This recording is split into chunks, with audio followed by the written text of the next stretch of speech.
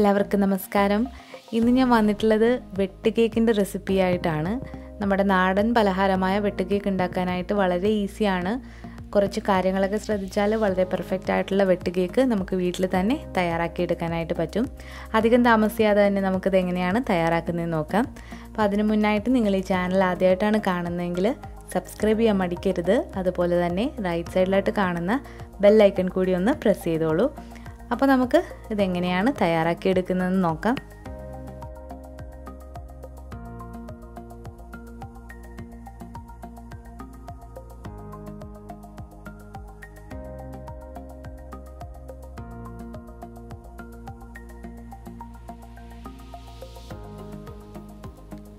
വെട്ട് കേക്ക് തയ്യാറാക്കി എടുക്കാനായിട്ട് ആദ്യം തന്നെ ഞാനിവിടെ ഒരു പാത്രത്തിലേക്ക് രണ്ട് കപ്പ് മൈദയാണ് ചേർത്ത് കൊടുക്കുന്നത്.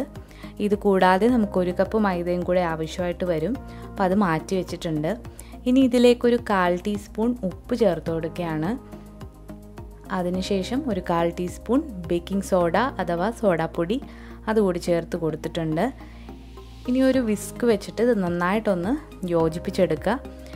നിങ്ങൾക്കിത് വേണമെങ്കിൽ അരിച്ചെടുക്കാവുന്നതാണ്. അപ്പോൾ ഉപ്പും സോഡാപ്പൊടിയൊക്കെ ഒരേപോലെ എല്ലായിടത്തും മിക്സായി കിട്ടും. ഇനി വേണ്ടത് മൂന്ന് മുട്ടയാണ്. ഇത് ചെറിയ മുട്ടയായതുകൊണ്ട് ഞാൻ മൂന്നെണ്ണം എടുത്തിട്ടുള്ളത്. അപ്പോൾ വലിയ വലിയ മുട്ടയാണെങ്കിൽ രണ്ടെണ്ണം മതിയാകും. അപ്പോൾ ഒരു മിക്സിയുടെ ജാറിലേക്ക് ഈ മൂന്ന് മുട്ടയും ഒന്ന് പൊട്ടിച്ചൊഴിക്കുക. അപ്പോൾ മിക്സിയുടെ ജാറിലിട്ട് നമ്മളിത് അടിച്ചെടുക്കുകയാണെങ്കിൽ കേക്ക് ഒന്നുകൂടെ നല്ല സോഫ്റ്റും നന്നായിട്ട് മിക്സായി കിട്ടും. അതിന് വേണ്ടിയിട്ടാണ് മിക്സിയുടെ ജാർ എടുക്കുന്നത്. അപ്പോൾ മൂന്ന് മുട്ടയും ഇവിടെ പൊട്ടിച്ചൊഴിച്ചിട്ടുണ്ട്. ഇനി ഇതിലേക്കൊരു ഒന്നേകാൽ കപ്പ് പഞ്ചസാര ചേർത്ത് കൊടുത്തു. ഇത് തരിതരപ്പുള്ള പഞ്ചസാരയാണ്. ഇനി ഇതിലേക്ക് ചേർത്ത് കൊടുക്കാനായിട്ട് പോകുന്നത് ഒരു അര ടീസ്പൂൺ ഏലക്ക അല്ലെങ്കിൽ ഏലക്ക പൊടിയാണ്. ഏലക്ക മുഴുവനായിട്ട് ചേർക്കുകയാണെങ്കിൽ മൂന്നോ നാലോ എണ്ണം ചേർക്കാം. ഇനി ഇതിലേക്ക് വേണ്ടത് ഒരു ടേബിൾ സ്പൂൺ നെയ്യാണ്. അപ്പോൾ നെയ്യ് ഒഴിച്ചു കൊടുക്കുമ്പോൾ ഇതിന് നല്ലൊരു ടേസ്റ്റ് കിട്ടും. നെയ്യില്ലെങ്കിൽ നിങ്ങൾക്ക് പകരം സൺഫ്ലവർ ഓയിൽ ഉപയോഗിക്കാവുന്നതാണ്. ഇനി ഇതിലേക്ക് ഒരു മൂന്നാൽ തുള്ളി വാനില എസൻസ് കൂടി ചേർത്ത് കൊടുത്തിട്ടുണ്ട്. ഇത് നിർബന്ധമില്ല. ഇതിപ്പോൾ നന്നായിട്ട് ഒരു അഞ്ച് മിനിറ്റ് നന്നായിട്ടൊന്ന് അടിച്ചെടുത്തിട്ടുണ്ട്. ഇനി നമ്മൾ ഈ നേരത്തെ മിക്സ് ചെയ്ത് വെച്ചിരിക്കുന്ന മൈദയിലേക്ക് നമ്മൾ ഈ അടിച്ചു വെച്ച മുട്ടയും പഞ്ചസാരയും കൂടി ഇട്ട് നന്നായിട്ടൊന്ന് മിക്സ് ചെയ്ത് കൊടുക്കുക. അപ്പോൾ നന്നായിട്ട് കുഴച്ചെടുക്കുക. ഇതിൽ വേറെ വെള്ളം ഒന്നും ചേർക്കേണ്ട ആവശ്യമില്ല. അപ്പോൾ ഇത് വെച്ച് തന്നെ നമുക്ക് മാവ് നന്നായിട്ട് കുഴച്ചെടുക്കാനായിട്ട് പറ്റും. അപ്പോൾ നന്നായിട്ടൊന്ന് കുഴച്ചെടുക്കുക.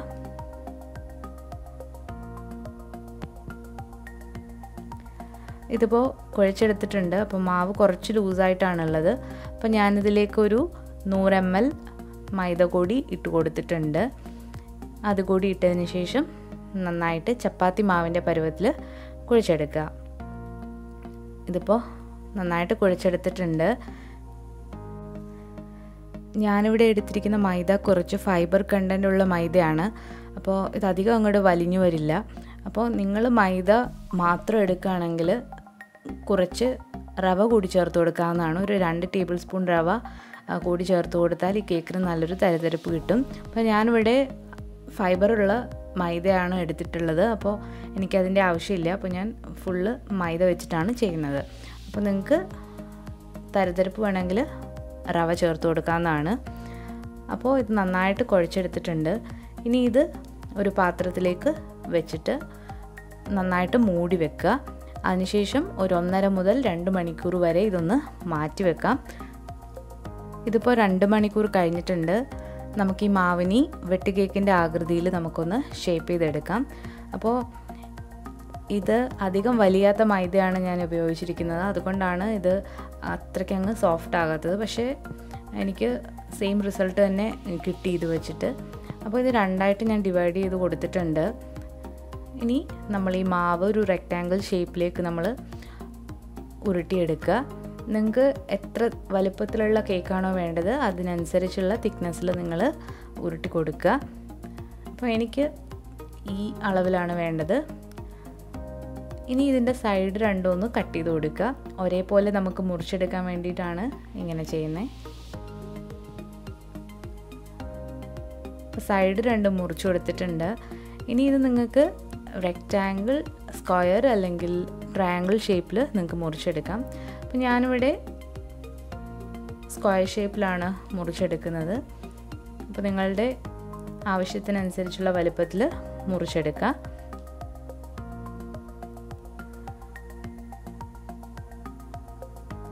ഇനിയാണ് നമ്മൾ ഈ കേക്കിൽ സ്പ്ലിറ്റ് ഇട്ട് കൊടുക്കാനായിട്ട് പോകുന്നത്.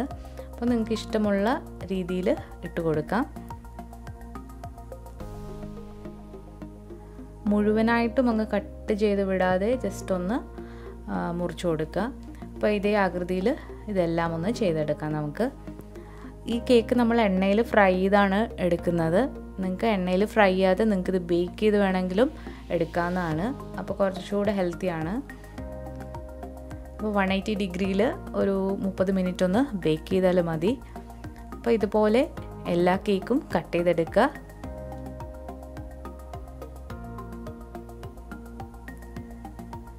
നമ്മൾ എണ്ണ അവിടെ ചൂടാകാനായിട്ട് വെച്ചിട്ടുണ്ട്. നമ്മൾ എണ്ണയിൽ പൊരിച്ചാണ് എടുക്കുന്നത്. അപ്പോൾ നമ്മൾ കേക്ക് മുങ്ങിക്കിടക്കാൻ വേണ്ടിയിട്ടുള്ള എണ്ണ ഉണ്ടാകണം എന്നാൽ മാത്രമേ കേക്ക് നന്നായിട്ട് വരുള്ളൂ. അപ്പോൾ എല്ലാം ഇതുപോലെ മുറിച്ചെടുത്തിട്ടുണ്ട്. ഇനി ഇത് നമുക്ക് ഫ്രൈ ചെയ്തെടുക്കാം.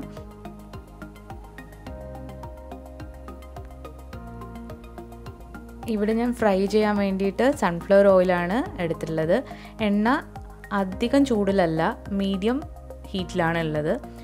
ഒരുപാട് ചൂടായാൽ നമ്മൾ ഇടുന്ന വഴിക്ക് തന്നെ ഈ കേക്ക് അങ്ങ് കരിഞ്ഞു പോകും. അതിന്റെ ഉൾഭാഗവും നന്നായിട്ട് വേവില്ല. അപ്പോൾ ഒരു മീഡിയം ഫ്ലെയിമിലിട്ട് വേണം നമ്മളിത് വറുത്തെടുക്കാനായിട്ട്. അതുപോലെ തന്നെ കേക്ക് മുങ്ങിക്കിടക്കാൻ വേണ്ടിയിട്ടുള്ള എണ്ണയുണ്ടായിരിക്കണം. തന്നെയുമല്ല നമ്മൾ എടുത്തിരിക്കുന്ന പാത്രത്തിന്റെ ചുവട് നല്ല കട്ടിയുള്ളതും ആയിരിക്കണം. എന്നാൽ മാത്രമേ ഇത് കറക്റ്റ് ടെക്സ്ചറിൽ നമുക്ക് കിട്ടുകയുള്ളൂ. അപ്പോൾ ഈ കാര്യങ്ങളൊക്കെ ശ്രദ്ധിക്കുകയാണെങ്കിൽ വളരെ പെർഫെക്റ്റ് ആയിട്ടുള്ള കേക്ക് നമുക്ക് കിട്ടും. അപ്പോൾ എന്റെ കയ്യിൽ ഒരു സോസ് പാനാണ് ഉള്ളത്. അപ്പോൾ അത് അടി നല്ല കട്ടിയുള്ളതാണ്. അപ്പോൾ ഇത് പതുക്കെ ഇതിൽ കിടന്നിട്ട് നന്നായിട്ട് മുരിഞ്ഞു വരണം. തന്നെ തന്നെ അത് തിരിഞ്ഞ് വീഴുന്നുണ്ട്. അപ്പോൾ തിരിച്ചും മറിച്ചും ഇട്ട് നന്നായിട്ട് ഫ്രൈ ചെയ്തെടുക്കുക. അപ്പോൾ കേക്ക് നന്നായിട്ട് പൊന്തി വന്നിട്ടുണ്ട്. വളരെ സമയമെടുത്ത് വേണം നമ്മളിത് ഫ്രൈ ചെയ്തെടുക്കാനായിട്ട്. ഒരുപാട് തീയാണെങ്കിൽ ഇത് പെട്ടെന്ന് തന്നെ കരിഞ്ഞു പോകും ഉള്ളു വേവില്ല. പുറം ഭാഗം കരിഞ്ഞിരിക്കും.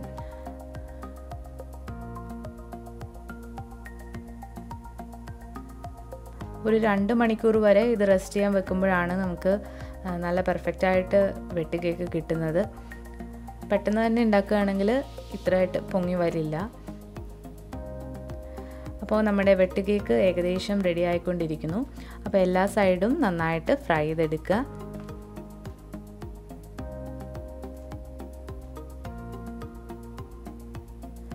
മീഡിയം ഫ്ലെയിമിൽ തന്നെ തീ ഇടാനായിട്ട് ശ്രദ്ധിക്കുക. ഇതിപ്പോൾ എല്ലാ സൈഡും ഒരേപോലെ ഫ്രൈ ആയി വന്നിട്ടുണ്ട്. കറക്റ്റ് കളറും വന്നിട്ടുണ്ട്. ഇനി നമുക്കൊരു പാത്രത്തിലേക്ക് കോരി മാറ്റാം. അപ്പോൾ വളരെ പെർഫെക്റ്റ് ആയിട്ട് വന്നിട്ടുണ്ട്. നിങ്ങൾക്ക് കാണുമ്പോൾ തന്നെ മനസ്സിലാകും. ഇനി ഇതൊരു കിച്ചൺ ടവൽ അല്ലെങ്കിൽ ടിഷ്യൂ പേപ്പറിലേക്ക് മാറ്റുകയാണ്. അപ്പോൾ എക്സസ് ആയിട്ട് എന്തെങ്കിലും എണ്ണ ഉണ്ടെങ്കിൽ അത് ഇത് വലിച്ചെടുത്തോളും.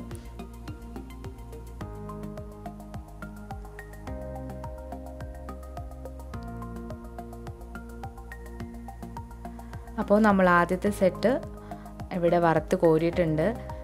ഇനി അടുത്ത സെറ്റും ഇതുപോലെ തന്നെ നമുക്ക് വറുത്ത് കോരാം. അപ്പോൾ നല്ല അടിപൊളിയായിട്ട് വന്നിട്ടുണ്ട്.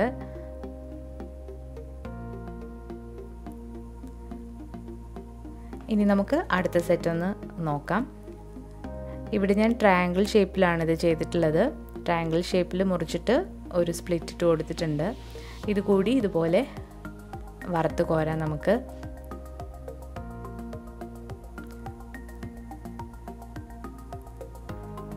അപ്പോൾ സമയമെടുത്ത് തന്നെ ഇത് ഫ്രൈ ചെയ്തെടുക്കാനായിട്ട് ശ്രദ്ധിക്കുക.